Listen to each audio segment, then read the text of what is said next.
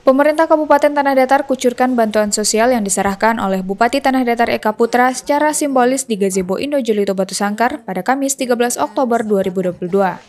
Bantuan sosial yang diberikan diharapkan dapat dimanfaatkan dengan sebaik-baiknya dan mampu meringankan beban ekonomi penerimanya. Dengan adanya bantuan yang kami berikan ini, semoga dapat dimanfaatkan oleh Bapak Ibu yang penerima bantuan pada hari ini dan bisa meringankan ekonomi, bisa dipakai untuk berbagai macam keperluan Bapak Ibu semua. Kami berharap berkah karena kami semua yang bekerja mulai dari penganggaran termasuk dari eh, Bapak Ibu DPRD kita yang bersama-sama dengan kami untuk menganggarkan untuk eh, bapak-bapak uh, yang bapak ibu lansia dan di kaum uh, disabilitas ini. Bantuan sosial tersebut diberikan kepada 266 lansia dan 196 penyandang disabilitas dengan nilai bantuan sebesar 924 juta rupiah. Masing-masing lansia dan penyandang disabilitas mendapat 2 juta rupiah.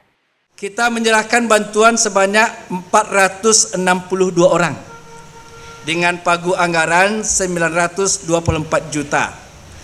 Dengan 196 orang dari disabilitas di Kabupaten Tanah Datar dan kita undang hari ini 20 dari disabilitas dan 20 orang dari lansia wilayah yang terdekat dengan lokasi kita ini. Tajuk Emas, lima kaum dan Sungai Tarap wilayah Sempuri.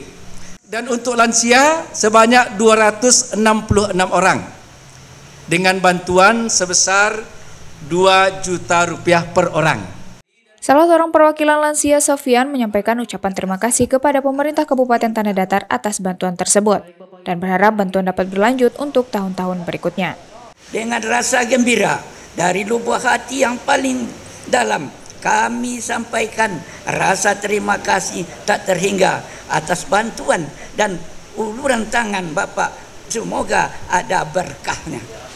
Kami berharap semoga Bapak terus memperhatikan kami dan mohon bantuannya dapat dilanjutkan dari tahun-tahun yang akan datang.